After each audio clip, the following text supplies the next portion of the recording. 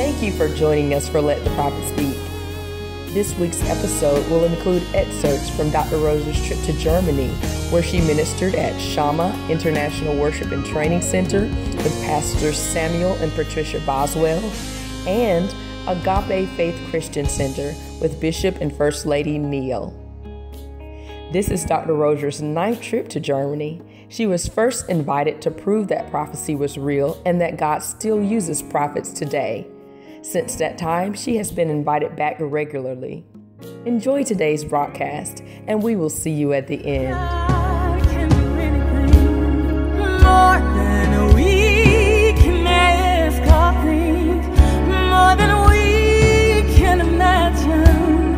Wildest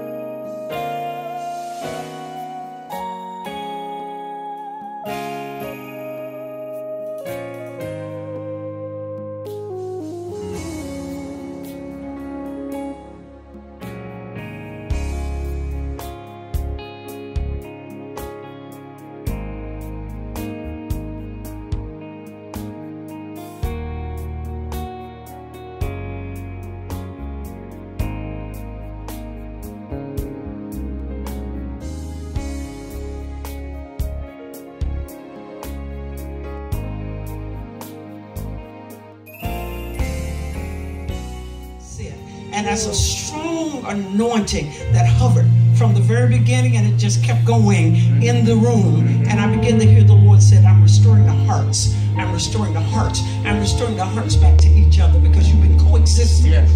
And to everybody else, you had the paperwork, you had the term marriage, but you realized we you were as divorced as you could possibly be and still be in a marriage. But a miracle happened tonight.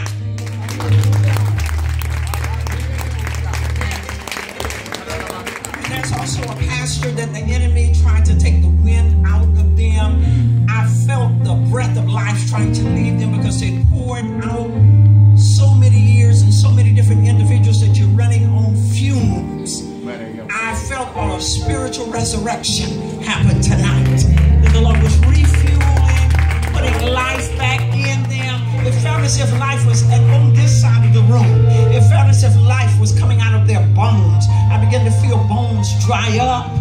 And it seems like the blood wasn't flowing like it was supposed to. But I felt the wind of the Lord's Spirit, and I could literally see like a mist on that side of the room. And He began to water, a water garden. And you're going to feel vibrant when you wake up in the morning. You're going to feel as if when you go off to sleep tonight, where there were times you felt as if your spirit was leaving your body, you were so exhausted. You would go to sleep and you would feel as if you, your spirit was leaving your body, and you would fight to get your spirit back within your body. But you're going to feel the cohesiveness. You're going to feel all three joined together as you were made spirit, soul, and body. The three will come together as one again, and you'll feel at one with the calling, and at one with your gender, and at one with that anointing. And instead of feeling like I waited too long to retire, you'll feel refined. Never had a time that I came to Shama and you saying that the presence of God did not encase me.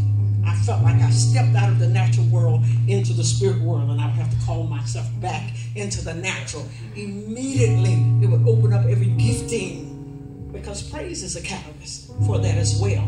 Praise coming from an anointed vessel, praise coming from a pure heart, not performance. And I use that because there are a lot of people sing, but they're performers, they're actors. But then there are people that truly love the Lord and they sing out of their being even as you were singing that song at the end of the service, let the church say amen. Immediately I went back to watching um, Andraé Crouch as he talked about losing two fathers in the same year his godfather, I believe it was, and his natural father.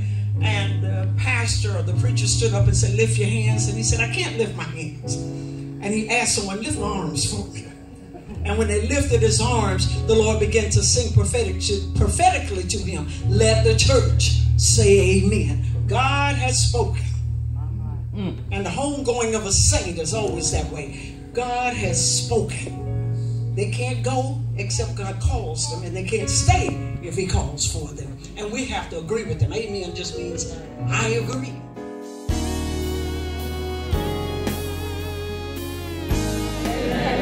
Two days later, I met this couple.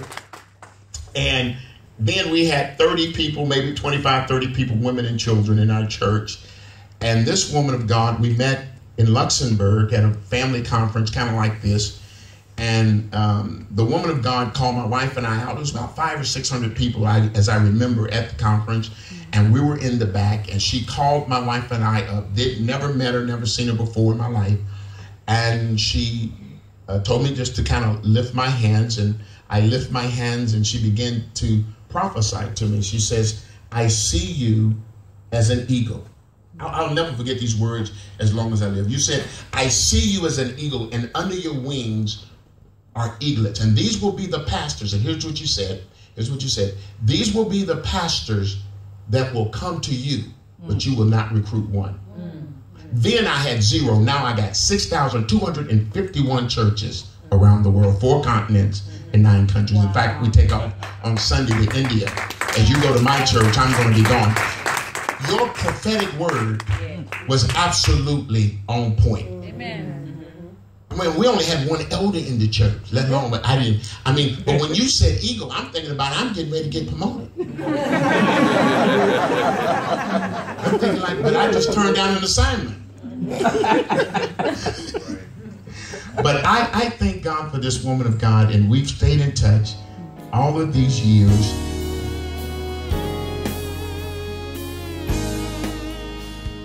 Are you aware of that deliverance flows with your prophetic? The reason you went through such horrendous things because God wanted to put the super on your natural so you would have supernatural ability to deliver others because only He was able to deliver you.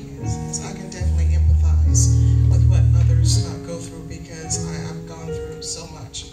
And uh, many people have said that to me that there was a reason why God was allowing all the things to come at my life that were coming at my life. And just when I thought that I got past the point, I said, sure, God, we're home sailing me out, you know it's over, and then something else will come up. And uh, but I, it does allow me to not to look at people and not judge them because I can look past and say, but you don't know where they came from. You don't know what they've been through. And when people look at me and say, she's Because you have been so judged. Yes, I've been I've been judged because because of my experiences. It sometimes it shut me on my personality, and people could think I'm stuck up, and they could think this and that. I'm in the limelight. I'm a pastor's wife. I'm a first lady. So everyone's looking at me, but they don't know my history. They don't So it's caused great pain. And I would share with him and talk with him. He said, "Baby, they just don't understand. They just don't know you. They get to know you." It's such a great covering for you. Do you know that? Yes, yes. I, I need him. I need him, and I know I need him for what God has called both of us. uh, to do and what He's called me to do. And God has reaffirmed over and over again that anointing that's upon my life. You know, I think, okay, I'll be 63 this year. Surely, what's left to do? But uh, God said He, he did not allow me to go forward, so that I would. Well, I, answer to your question what's left to do. There's going to be more bearing of your soul. There's going to be more visibility. There are going to be more times that you feel like I'm the only one nude in the room, Lord. Everybody's able to cover up. And you're requiring that I show my private parts. To talk about things you never, mm. ever planned to talk about. Mm. That's what's next. He's going for, you've offered him all of this, and he's saying, No, I want what you have locked in that vault that you don't plan to share with the living soul. Some things you've never told him. He's going after that this year. And the next book will be nothing like the first because the next book will be a tell And it will sell itself because people will see your struggles. They will see all the obstacles, all the pain, the pain that you thought is nobody's business. You have a propensity to be this very, very private person, and I'm not sharing all my business, but the Lord is going to share all your business. I don't know what to say. I'm sorry or congratulations. I'm not alone. Did you say that again? I said, don't you want to interview somebody else? Moving right along, right? The best is yet to come. You haven't had ministry. You haven't felt the anointing like you're going to feel it. You haven't felt the liberty and the freedom like you're going to. He's going to turn you inside out and what you regretted him asking for. You're going to thank him for asking. Because it's going to be an antidote that's going to life the hard cases that other people thought they would never get over, never be able to talk about. It will kill the shame in them. Hallelujah. It will bring joy, and they will use it as a badge of courage instead of feeling shame and humiliated. It is going to save lives. People on the brink of suicide because you dared to tell the butt naked truth. You'll have true daughters. Won't have fakes. It won't be people that you feel they, they tolerate you, but they're here for him. You'll be the real mother. Because women don't nurse with all their clothes on. They have to bear their breasts and endure the pain of a child latching on. And endure the labor pains. Mm. I've never met a woman that delivered fully clothed. The Lord is going to have you deliver will cause other people to look at areas of your life that you would have never shown. But the pain in here is no value to you. But sharing the pain will be priceless to many.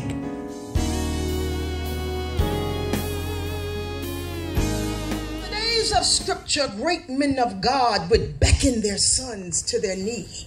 Bless them and give them names personifying what they wanted them to be. They gave them guidance and demonstration, showed them how to be rulers and kings over nations. Whatever happened to the fathers of those generations? Now we see boys planting seeds of life in grounds untilled, unprepared. The crops they yield are as the sower, unkept, wandering hopelessly as if no one ever cared. They no longer rule nations. We are a chosen but frozen generation. The dominion we dominate reeks with evil and hate, colors, corners, crack houses, consequences, leaving fathers standing in courthouses waiting to be released on their own recognizances. What is this? Whatever happened to the days when daddies would play house with their little girls and plaited braids and curls, have tea time and read rhymes and never, ever, ever let it cross his mind to touch her breast or feel what was under her dress. All daddy wanted to do was take his little girl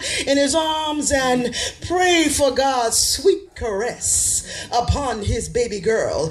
Daddy's meant fun beatings, ice cream trips, playing cards, and cheating, calling strange aromas animal names. But he was daddy, and it was just a game. Now we hear boys and girls cry, Why? I've been looking for you, Daddy. I need you to be at home to sit at the head of the table so Mama's eyes won't roam from the clock to the door. Uh, I don't want to see her cry anymore. I miss your smile, your deep voice, the smell of your cologne. Come back home. I need you, Daddy. But just in case, just in case I can't see you anymore, leave me with an inheritance. Don't leave me like Esau. Give me the God of your fathers because the gifts you give are good, but they're not always what they should be. Yet the Heavenly Father gives good and perfect this. So I look to this for you to be Abba Father, the everlasting Father. He was Abraham, Isaac, and Jacob's Father. He is Ishmael's Father. And if you're orphaned, he'll be your mother and your father. So I say to you today, as you gaze upon God, no matter what the case, he is a father that the righteous can run into and be kept safe.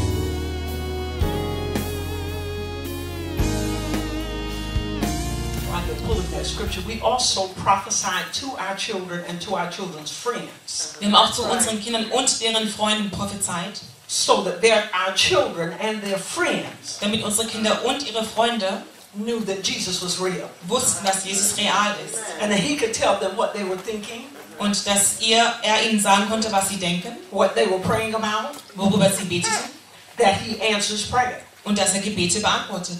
You have to talk to your kids about money, Du musst zu deinen Kindern bezüglich Geld sprechen, about how to make money work for you, wie man Geld dazu bringt, dass es für einen arbeitet not work for money, und dass man nicht für Geld arbeitet. but let money work for you. Aber, zu, aber schauen, dass das Geld für einen selbst oder das Geld selbst arbeitet. Man So then we had to get it together. also mussten wir es erstmal auf die Reihe kriegen. We had to teach them about a savings account, Wir mussten denen beibringen, wie man ein Sparkonto hat, investments, wie man investiert.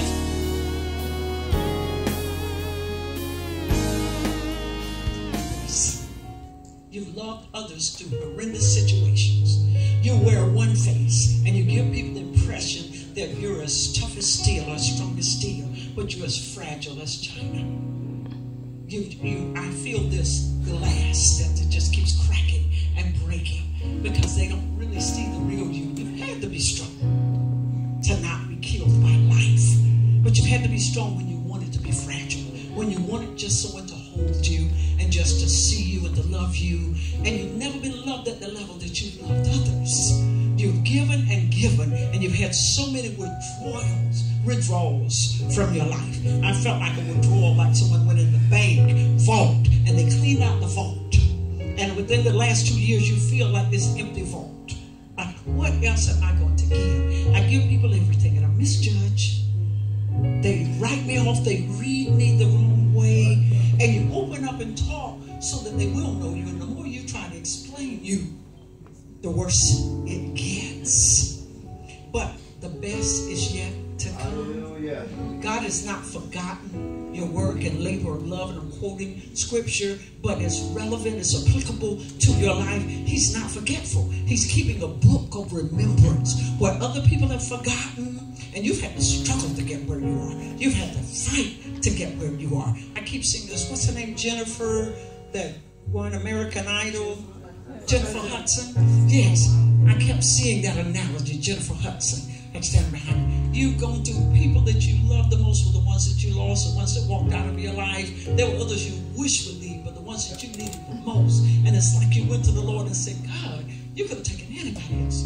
But every time I draw close, that's the one you put your hand in. That's who you take. Okay, I get it now, Lord. If you prophets are born out of rejection, I'm there. Out of abandonment, I'm there. If you just want me to climb up in your lap, well, there's no other lap left. But yours for me to climb up in. But the Lord is going to bring a man alongside that is your stature, that's your equal. You've been fishing out of a pond when the ocean is yours. Right. He said, You've been using a little fishing pole when he wanted to put a reel in your hand. And some of them you were willing to throw back so they didn't jump off the hook. But it was the Lord coaching them to get off the hook. Because he didn't want you to have to condescend and dumb down to make him feel good. You're very intelligent, you're very smart. You're very, very creative. But the loneliest time for you is the wee hours of the morning. Almost faint.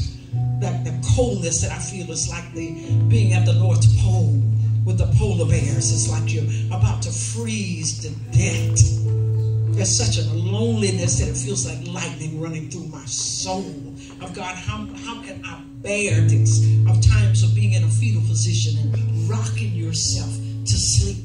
But there's an angel of the Lord's presence mm. that didn't just come there. He's been there, watching over you, Mm. singing to your spirit, and doing emotional surgery. He's going to take out the cancerous areas that brought damage to your heart emotionally. And it's a new season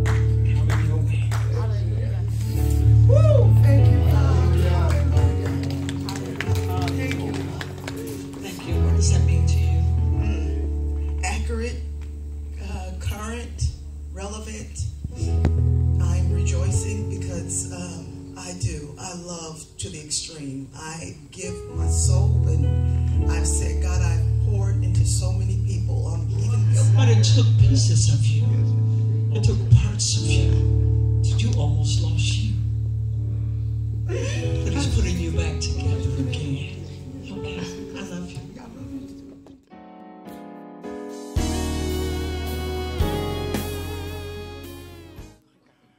In Second Chronicles 2 and 20, it says, Believe in the Lord your God, and you will be established. Believe in the prophet, and you will succeed. And we have succeeded because of the word that you have given us directions. And we love you and we appreciate you. And this is for you. It will be mailed to your home. And that says that.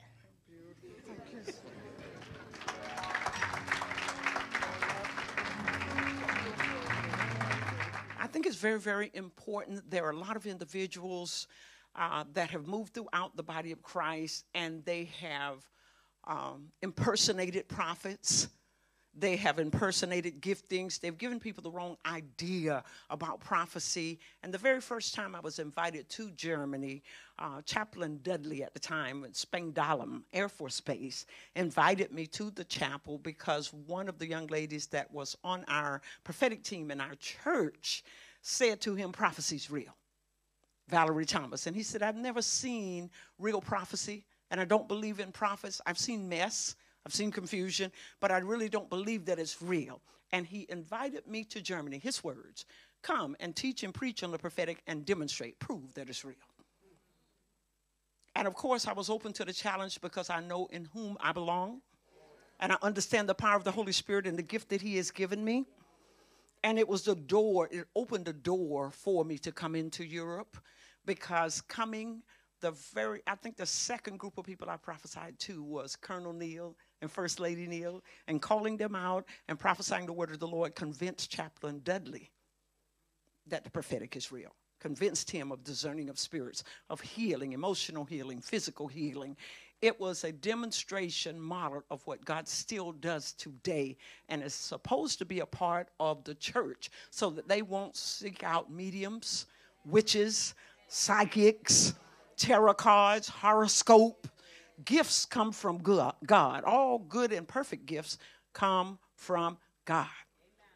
I've placed value on everything that the Lord has said to me. I have notebooks upon notebooks that I have dated back to when I was carrying each one of my children, and all of my children are adults. When I was a freshman in college, when I first gave my life to the Lord, every one of my prophetic words went during those times. We had cassette tapes and VHS but I recorded everyone, wrote it out. The Bible was written. That's why we're able to read it. I wrote everyone out. So if the tape broke, I still have it.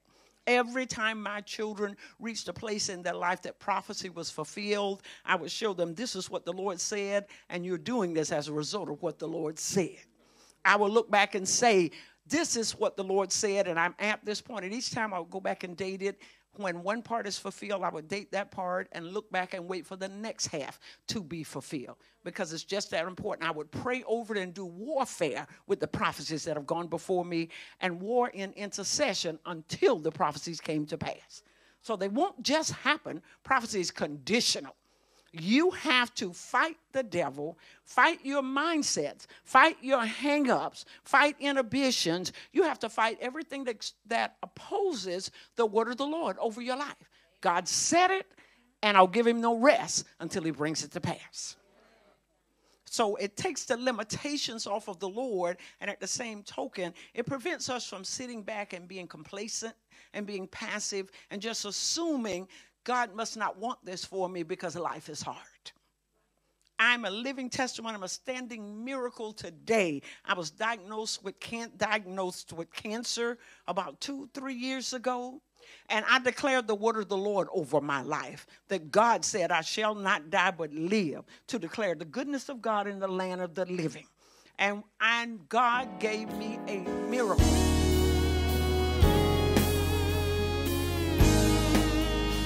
At this age, but I see 16, and then I see 18, and then I see him standing on a college campus.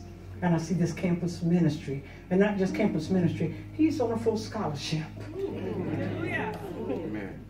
And he, it's a free ride, and he's paying for it. I see this engineering. I see this smart mind.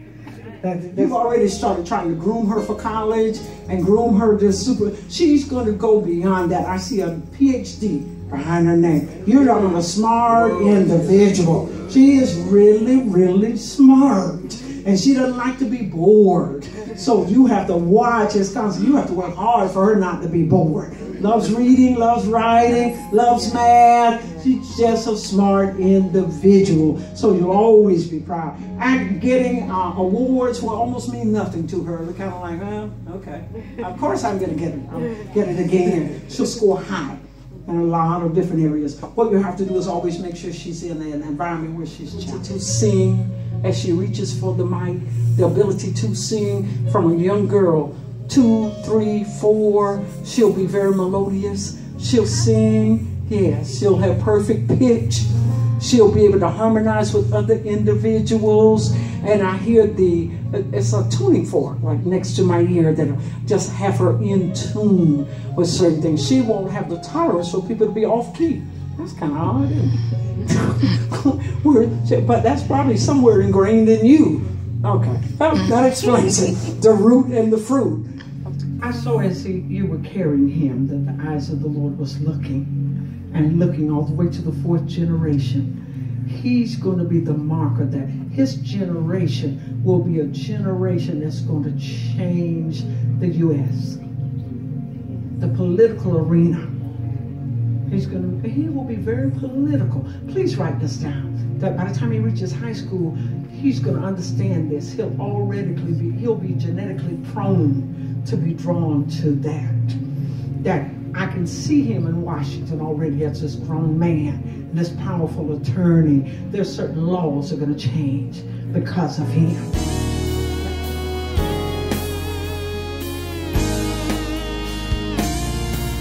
Thank you for watching. We know that you enjoyed today's broadcast, and we hope that you will join us again next week for Let the Prophet Speak.